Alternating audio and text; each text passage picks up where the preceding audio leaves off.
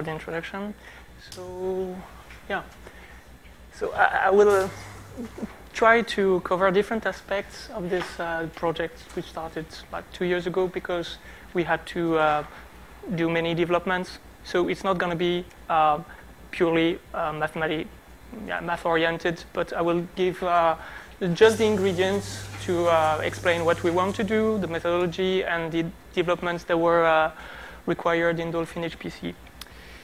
Because, um, oh, is it working? Is it down? Okay, down. Okay, um, because uh, we're not talking about the dolphin that you know, but a slightly different animal, which is a primitive dolphin. not good. Um, so we'll first explain the context and the motivations behind um, this work around residual-based stabilizations, and then talk about two applications. One application on variable density flows, and one about compressible Euler. So the context um, of our group, so CTL at KTH, and also the um, spin-off in Bilbao, um, led by um, Johan Jansson um, is developing um, high-performance implementation for adaptive finite element methods, covering different uh, types of applications. So I just provided short list. Um, the main focus historically has been high Reynolds incompressible turbulent flows, but uh, we will see um, uh, Johan will give a talk about applications in heart modeling. And um, what concerns me is um, variable density flows for geophysics and also um, compressible flows. So what is Dolphin HPC? First, I need to explain that um, it's a parallel branch that was uh, created in 2007 um, as a parallel branch. So we don't have a Python interface. We only use Python for the code generation. Um, the code is different in many aspects but the focus uh, has been put on performance on supercomputers. So early on, we had the distributed mesh um, with load balancing um, and parallel adaptive mesh refinement. And um, focus was also on I.O. on the supercomputer, so having a file format to read and write efficiently. Um, when it comes to supercomputers, some of them are really strange beasts. So we're stuck with uh, C++ 98 that makes a huge difference compared to the current Dolphin.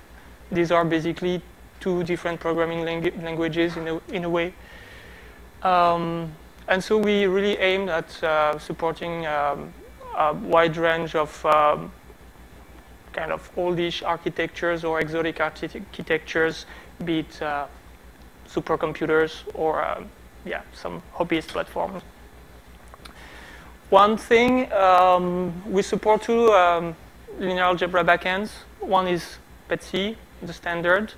So in um, hybrid MPI OpenMP setting, uh, the scaling, strong scaling was shown up to uh, 7K uh, process. And the other backend developed by Niklas Jansson is based on unified parallel C and scales up to um, 12,000 process. And uh, the programming model is different. It's a shared memory model. Um, so basically what we have is, is we're lagging behind the Python things because it's a lot of work to maintain for us since the interfaces are different. So, so far we use Fiat 1.3. So you have the regular ecosystem, just the versions are a bit uh, behind. Um, yeah, UFL 1.0.x, FFC 1.0.x, UFC. We try to update uh, the UFC interface to be compliant with um, recent code, but again, it's uh, always a game of catching up. So uh, the main um, yeah, the main features in the coming release that we, we will put on, uh, on um, Bitbucket repository is we, we try to uh, catch up with the compliance with the Python modules. Still not good, but we're trying. Um, I implemented parallel interior facet assembly, um, mixed element and subsystem support in parallel that you, you, you might have already in, in Dolphin. Um, but we like that. Uh, we implemented some uh, C++ version of some UFL abstractions to work with the finite elements. So we basically play with the signatures that I know uh, have evolved, but uh, that was yeah, a way to, to actually uh, get some information from the finite elements. And yeah, some uh, spin-off projects that is uh, um, solver application framework. So this is our main playground, Beskow, um, Haswell uh, processors. Um, this is a quite interesting machine, uh, 53,000 cores. So the motivations, historically, the laboratory has been concerned with uh, simulation of high Reynolds turbulent flows uh, with um, an approach called sometimes as implicit LES, which means that um, turbulence modeling just is embedded in the numerical scheme. There's no explicit physical subgrid uh, modeling. We just rely on numerical stabilization to uh, represent the small scales. So this is the beginning of the story. So we, in that way, we consider uh, the Navier-Stokes equations as some regularization of Euler equations. So we just consider uh, viscosity is zero, we stabilize, and that's our uh, uh turbulence model. So the general Galerkin um, model, which is the reference in the, in the group, was based on streamline diffusion, um, stabilization, uh, linear Lagrange approximation, equal order, velocity, pressure.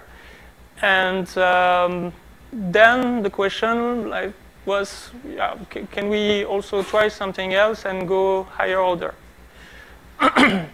so if we go back to uh, conservation law, you know that Galerkin um, isn't stable because it corresponds to a centered approximation. So there are different strategies at hand, Galerkin least square. I just write it down for the sake of completeness. Streamline diffusion, um, SUPG, with uh, possibly a shock capturing term, which is basically elliptic uh, regularization with some iso isotropic viscosity. And um, another class of uh, stabilizations is um, nonlinear uh, viscosities based on the residual. So you can choose you can choose your viscosity epsilon as just some function of the residual of the equation, bounded uh, from above by the upwind viscosity, first order viscosity, so uh, C1H uh, norm of u. Or you can uh, choose um, to use the ingredients coming from the, um, the paper by DiPerna, measure value solution for conservation laws, um, the ingredients to uh, yield existence of a solution is boundedness of the solution, strong consistency to initial data, and weak consistency to entropy inequalities. And these entropy inequalities, they're actually a way to select the physical solution. So this uh, entropy residual is there to make sure that we actually select uh, um, the, the, physical solutions um, while following the sequence of discrete solutions. Um, well, uh, what did I want to say? Yeah. Um, for instance, for LES models, this corresponds to uh, enforcing local energy dissipation, for instance. And for uh, compressible flows, it, it means just uh, capturing the shocks properly. So basically, uh, stabilizing where things happen. So why this interest is that um, there, it has been proven that uh, only the um, isotropic uh, diffusion is necessary to, to yield convergence of the scheme in the case of streamline diffusion uh, with shock capturing term. Also, that the shock capture, the streamline diffusion term can yield uh, convergence to non-entropic solution, so non possibly non-physical solution. So we want to play a little bit more with this, uh, this um, entropy-based stabilizations. So uh, we have two projects at hand. Um, one is uh, variable density flows for uh, geophysics. It's a project with Kaspar Müller, a PhD student in our, in our group. So we just uh, do simple things. Um, just take a um, simple uh, model for a two-phase flow, uh, water and um, air. So just mass balance, momentum, continuity constraint. And then we ask ourselves how to uh, stabilize the mass equation. Um, in the case of uh, high Reynolds uh, flow, uh, we also need to stabilize the momentum equation. So different questions come. Uh, what about the positivity, the boundedness of the density? Um, how to uh, cope with large density differences? Um, enforce the um, continuity constraint properly. So well, I forgot to say we, we're in a continuous, the continuous finite element world. So we only use Lagrange in, our setting. So we cannot resort to uh, divergence-free element, elements or so on. We just want simple things. Uh, keep working uh, with linear elements and higher order Lagrange elements. But uh, get something, maximum principles, uh, um, entropy, um, like stabilization which yields uh, entropy solutions. So we chose to um, use a splitting scheme, devised by uh, Guermond and Salgado. Um, so it's basically the same uh, scheme uh, as any um, projection time stepping uh, um, uh, time stepping uh, scheme. Uh, first, density update, then momentum prediction, then penalty projection. Why penalty projection? Because here we don't actually enforce strict divergence-free constraint. Um, to relax the fact that the, the density uh, is not constant, um, which would yield a uh, Poisson problem which is difficult to solve, we just introduce this parameter um, key, uh, which is defined as the minimum uh, density. And uh, Guermond Salgado proved that the, our estimates um, are actually uh, um, adequate. And then finally, a pressure correction. I really simplified the notations. Um, you can see that this scheme is written in a general fashion for BDF1 and BDF2. Anyway, there's no need to go above BDF2 because the there's a splitting error which is of, the, of order uh, delta t square. But uh, yeah, uh, this beta coefficient and definition of rho hat, u hat, and p hat define the BDF scheme. And um, rho tilde, u tilde, and p tilde are uh, uh, appropriately chosen uh, extrapolations to yield good error estimates. So the developments required was first, uh, for this type of scheme, we need inf-sup stable finite elements. So um, go with the classic P2P1. But in, initially, they were not implemented in parallel in Dolphin HPC, so it required playing a bit with the DOF maps. Um, and second, um, the construction of the, the viscosity to start easily. Um, so you can choose your viscosity in any discrete space, basically. DG0, you can take a CG space. So the natural uh, thing would be to take either a DG0, either the same space as the velocity or the density. Um, but in that case, we started simply with DG0 approximation for the, um, the viscosity prime it yields uh, oscillation, so we, need to, we needed to add uh, the jump term, which should be there. Um, so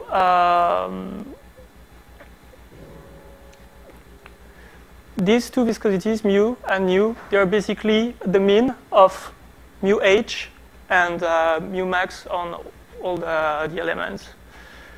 So it required the implementation of jumps in parallel and uh, other uh, uh, data structures to uh, synchronize finite element distribution um, contributions. And also impossibility to generate uh, entropy residuals with UFC1, which motivated uh, move to UFC2 in the first place. So we did we followed the usual methodology. First, uh, some manufactured solution, pulsating flow in a channel, then some Rayleigh-Taylor instability for different Reynolds number and different Atwood num numbers. The Atwood number being uh, the relative uh, density difference between the two fluids, so the heavy fluid on the top and lighter fluids um, at bottom. Uh, for this test case, we have no slip boundary uh, at the top and bottom and uh, perfect slip on the sides. Um, and uh, we showed that th there's good agreement with numerical experiments aside from the pattern of the, this, uh, this roll. Um, but that's something that is also quoted by Guillermo in his paper. So that should be in investigated further. Um, took part in um, a workshop uh, last year, um, um, simulation of a tsunami, so dam break problem. Um, initially, you have a tank filled with water um, the experimental, experimental, setup is uh, 30 meters long. Um, time zero, the wall uh, breaks, and uh, the goal was to uh, compute the, the drag um, on the on the bridge. So we started with, uh, or he started with uh, 25,000 vertex mesh and 200,000 for the last one and the results were qualitatively okay but not satisfying, so we need to investigate further. The second project, uh, which is actually more, uh, um, yeah, which is basically rooted in the conservation law business, uh, is um, system, so compressible Euler, so system of conservation laws. Um, mass conservation, momentum uh, conservation, and uh, energy, total energy. Uh, with Murtazo, we're trying two different regularization for the Euler equation. Um, the bottom one is the Navier-Stokes regularization, which is the classical one, but uh, violates uh, positivity principle. Um, so we're trying a Guermond-Popov regularization. And this regularization has been used in all the simulations. So um, for the discretization. Uh, we played with P1 to P4 uh, for the moment. Uh, we use an explicit scheme, Runge-Kutta 3 SSP. Uh, the stabilization is as before, uh, the mean of upwind viscosity and entropy viscosity with the entropy de uh, defined by S. we also took a DG0 um, viscosity and added the jumps also, an important thing is the use of uh, strong slip boundary condition. Uh, use of the weak um, slip boundary condition uh, incurs uh, um, restrictive CFL condition. Um, so this uh, this actually um, demanded to uh, develop the subsystem thing, mixed element stuff in Dolphin HPC, everything in parallel. rewrite slip BC to support higher order elements, and also, since we cannot save uh, higher order elements to VTK, uh, write some uh, general uh, um, interpolation uh, functions uh, that I wrote on non-matching meshes, so we're safe for the future. Um, yeah. So well, what I said basically. extend the node normals. So to enforce slip BC, we need to, to build a finite element field uh, representing the normal and the, the, the, uh, the, basis made of the tangential uh, vectors as well. Um, and last thing, we, we, we have to deal with several residuals with different polynomial orders, different uh, dimensions. So uh, I wrote some wrappers to generate uh, the code for multiple spaces and generate the, the wrappers in C++. So we can uh, just pass the polynomial order as argument at the solver at the beginning and just uh, select everything. Uh, we don't have just-in-time uh, compilation, so everything is pre-generated, compiled, and then selected at runtime. So we need some wrappers to, to be able to do that. Again, methodology, um, as usual, analytical solution on the shock tube yields uh, first order um, uh, convergence for L1.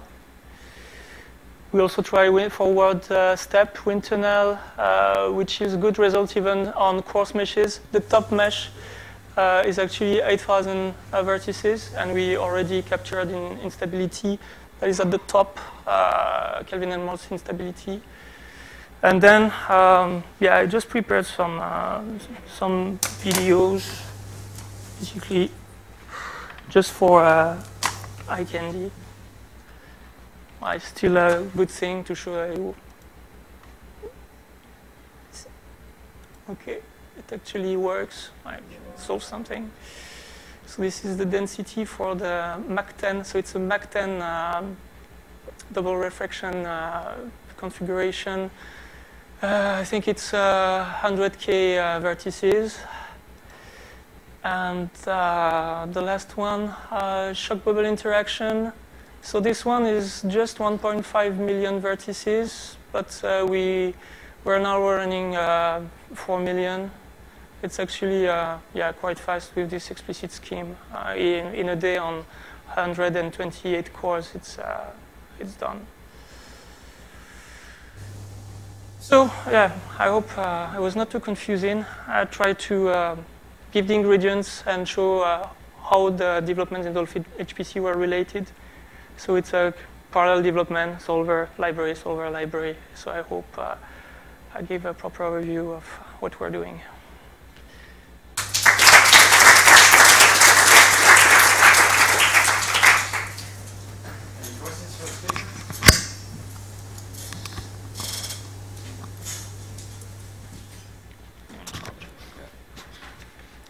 It's on there. It's on there.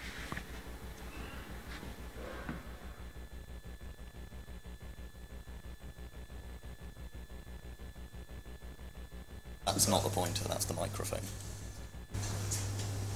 Uh, so the next speaker is uh, Kenneth Pula, is that right? No, it's not. I'm I'm actually not. Uh, I'm Johan Hoffman. I'm later in the probably at last.